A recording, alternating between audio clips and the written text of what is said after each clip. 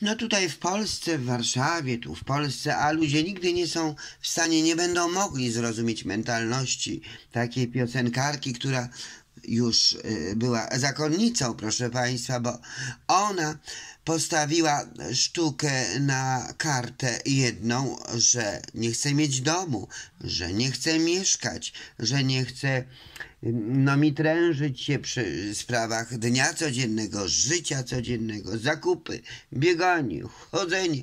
Jak tutaj te święta są babilońskie i pogańskie święta brzucha.